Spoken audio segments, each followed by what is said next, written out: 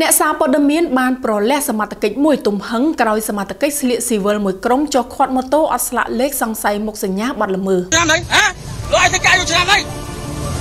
លោកឲ្យធ្វើការយូរឆ្នាំនេះហ៎លោកឲ្យនិយាយបលីស្អីគេហ៎បលីស្អីគេគេឲ្យស៊ីវិលបលីស្អីគេហ៎ជួយហើយចុះសាមហាក់ស្អីស្លាប់ផងហេទៅណាហ៎ចោលហ៎ចោលមែនពួ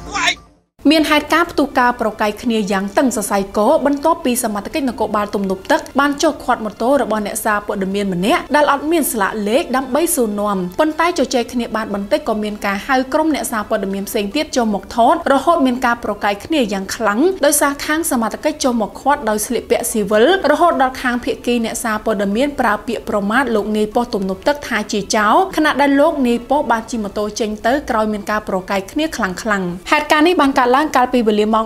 12:40នាទីថ្ងៃត្រង់ថ្ងៃទី3ខែមិនិនាឆ្នាំ2023នៅត្រង់ចំណុចក្រោយមន្ទីរពេរុស៊ីតាមបណ្ដោយផ្លូវ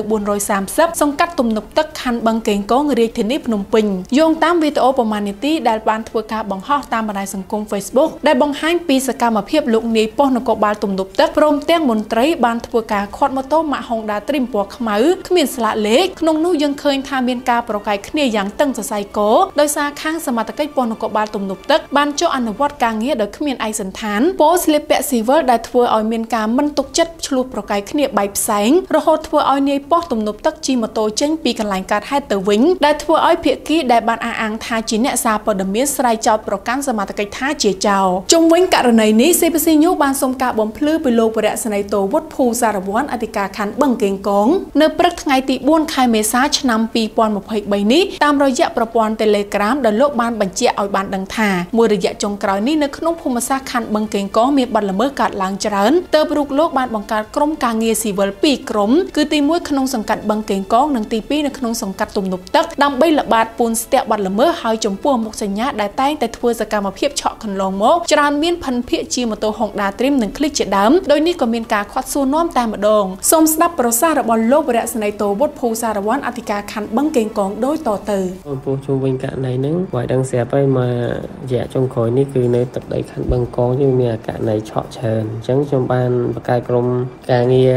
ស៊ីវិលពីរក្រុមដែលមួយក្រុមនៅខាងទំនប់ទឹកមួយក្រុមទៀតនៅខាងបឹងកងអញ្ចឹងចែកគ្នាជាពីរក្រុមដើម្បីល្បាតពូនស្ទាក់ពីម៉ោង10កន្លះដល់ម៉ោង1កន្លះទៅ2ថ្ងៃត្រង់អញ្ចឹងណាបងដែលយើងដាក់ទិសដៅជាងគេចម្បងគឺម៉ូតូអាសង់ ដែលវាមានផិនភាកដោយអត់ផ្លាកលេខទៅអីអញ្ចឹងហើយ steel ហើយទី2ម៉ូតូ click 160ព្រោះភាគច្រើនគឺម៉ូតូពីរប្រភេទហ្នឹងដែលវាធ្វើសកម្មភាពឆក់ហើយដល់ពេលរហូតដល់ថ្ងៃសមមិញហ្នឹងរយៈម៉ោងថ្ងៃត្រង់ហ្នឹងក៏មានផិនភាកម៉ូតូសងសៃហ្នឹងក៏ពួកយើងបានកាក់សួរនាំអញ្ចឹងទៅណាហើយមិនតបានសួរនាំអីផងលេខខ្សែត live ដាក់យកដាក់យក100 100អត់លើកហេតុផលមកសួរខាងសមត្ថកិច្ចសោះហ្មងមែន យើងក៏មិនថាដែរដោយសារកម្លាំងយើងវាពេលខ្លះវាលឿនលឿនក៏វាអត់បានពាក់មួកពាក់អីចឹងណាបងយើងក៏ទទួលស្គាល់ដែរថាគ្នាបានពាក់មួកហ្នឹងតែក៏មិនគួរដល់ថ្នាក់ឡាយមកផាពួកកម្លាំងមូលដ្ឋានសិតតែចោលសិតតែមិនមានដីកាមិនមានអីនេះជាការបង្ការរបស់អាជ្ញាធរមូលដ្ឋានតា ហើយគាត់អត់យោគយល់គ្នាអញ្ចឹងពេលអញ្ចឹងខ្ញុំមិនដឹងថាម៉េចហើយពួកដែលខ្ញុំបង្កើតដាក់ឲ្យមើលការងារពេលថ្ងៃត្រង់ខ្ញុំហាមដាច់ខាតណាទី1សម្ដីសម្ដែងគឺមិនឲ្យប៉ះពាល់លើគេទី2ហាមដាច់ខាតដោះស្រាយយកលុយយកកាក់អាហ្នឹងខ្ញុំដាក់គោលការណ៍ច្បាស់លាស់ណាស់ខ្ញុំអត់មានឲ្យបដាយបដោយបានទេតែទៅពេលឥឡូវមកប៉ះចំអ្នកកសែតឡាយអញ្ចឹងឲ្យបកស្រាយមកដាក់ខាងសមាជិកពួកខ្ញុំមកហឹងអញ្ចឹងដល់ពេលអញ្ចឹងខ្ញុំពួកខ្ញុំហួសចិត្តដែរបង តោហ្នឹងពេលដែលយើងខាត់ក៏អត់តន់ប្រាប់ថាអ្នកកសែតទេតែពេលយើងសួរនាំសួរនាំអីចឹងទៅក៏គាត់ថាគាត់អ្នកកសែតក្រោយមកទៀតក៏មានអ្នកកសែតគ្នាគាត់មកក្រោយមកម៉ូតូទៀតពីពីរនាក់អញ្ចឹងបង ក្រោយការហេតុសមត្ថកិច្ចក៏បានឆែកឯកសារម៉ូតូរបស់ភាគីខាងអ្នកព័ត៌មានដែលអត់មានស្លាកលេខក៏ឃើញមានឯកសារគ្រប់គ្រាន់និងដោយមានការសុំទោសសមត្ថកិច្ចក៏បានអនុញ្ញាតឲ្យម្ចាស់ម៉ូតូធ្វើដំណើរបន្តទៅជុំវិញករណីនេះក្រុមការងារព័ត៌មាននិងប្រតិកម្មរហ័សនៃស្នងការដ្ឋាននគរបាលរាជធានីភ្នំពេញបានបញ្ជាក់ថាអ្នកសារព័ត៌មានមួយចំនួនតូចតែងតែមកតាំងខ្លួនជាមន្ត្រីអនុវត្តច្បាប់សូមកុំធ្វើអ្វីឲ្យលើកពីទូនាទីភារកិច្ចរបស់ខ្លួនហើយអ្នកសារព័ត៌មានក៏គ្មានសិទ្ធិមកប្រើប្រាស់ម៉ូតូអត់ពន្ធឬអត់ស្លាកលេលេខនោះទេដូច្នេះអ្នកបើកបរនៅតាមដងផ្លូវគ្មានស្លាកលេខសមត្ថកិច្ចមានសិទ្ធិឃាត់ដើម្បីធ្វើការសាកសួរពិនិត្យឯកសារនិងធ្វើការផាកពិន័យតាមច្បាប់ដោយមិនចាំបាច់មានដីកាដោយអ្នកសារព័ត៌មានបាននិយាយនោះទេសូមចូលរួមគោរពច្បាប់ឲ្យបានគ្រប់គ្រប់គ្នាកុំអាងខ្លួនជាអ្នកសារព័ត៌មានបែរជាមកបើកបរល្មើសច្បាប់ឬបើកបរម៉ូតូដែលគ្មានស្លាកលេខនៅតាមដងផ្លូវឆ្នាំនេះហ៎លោកឲ្យធ្វើការយូរឆ្នាំនេះលោកឲ្យធ្វើការយូរឆ្នាំនេះហ៎លោកឲ្យនិយាយបលីស្អីគេហ៎ បលីស្អីគេគេឲ្យស៊ីមើ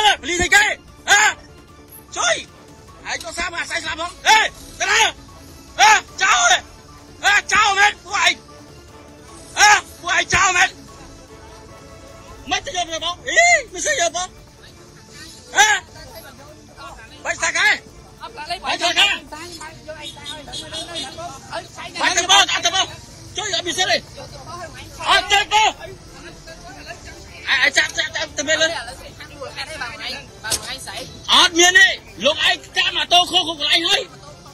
លោកឯងធ្វើអីក៏ដោយលោកឯងគួរគិតចាក់ដាក់ចាក់ដាក់ចាក់ស្អីគេអត់មានថាការជាមួយឯងណាអ្ន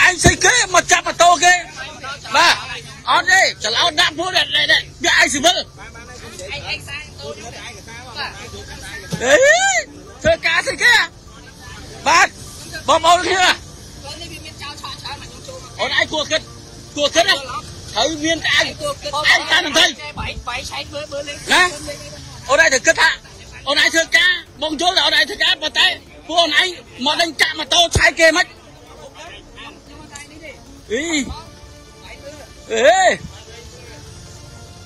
ទុំស្តាទុំនេះទុំស្តាទេចេញស្តាទេហ៎អេអូនអូនឯងទុំចេញស្តាទេ អូនឯងស្គាល់មែនសួរមែនឯងស្គាល់អាស្រ័យស្លាប់ហ៎ហ៎អូនឯងទុំចេញស្តាទេហ៎ធ្វើស្រួលបួលបងយល់អូនឯងប៉ុន្តែអ្នកទាំងអស់នេះបងអត់យល់ទេអូនឯងធ្វើការស្គាល់អាស្រ័យស្លាប់ទីទេអូនខ្ញុំស៊ូម៉ាពីកម្មវិធី One Inside ក្រុមហ៊ុន Markland គម្រោងដីឡូនិងលំនៅឋានដែលមានទីតាំងនៅក្បែរតំបន់ដែលមានសក្តានុពលបំផុតនៅក្នុងខេត្តត្បូងឃ្មុំទិញដីចំការខ្នោការ៉ុតពីគម្រោង Riyadh Farm ទទួលបានការមើលថែទាំតាមស្តង់ដារកសិកម្មទំនើបធានាលើទីផ្សារនាំចេញចំណេញប្រាក់3ដងជារៀងរាល់ឆ្នាំរយៈពេល10ឆ្នាំពេញ Markland បន្ថែមចំនួនអកម្មដើម្បីបង្កើនទ្រព្យឲ្យសកម្មជីវភាពធូរធារគ្រួសាររស់នៅបានសុខស្រួលតើ លោកអ្នកចង់បានគម្រោងដីឡូដែលមានការបង់រំលោះសុទ្ធជាមួយនឹងការប្រាក់0%ដែរឬទេក្រុមហ៊ុនដង្ខៅអចលនទ្រព្យនឹងផ្ដល់ជូនលោកអ្នកនៅដីឡូបែបអាជីវកម្មនៅក្នុងតំបន់ដែលមានសក្តានុពលបំផុតនិងការអភិវឌ្ឍលើគ្រប់វិស័យ CPC News ព័ត៌មានពិតគ្រប់ជ្រុងជ្រោយ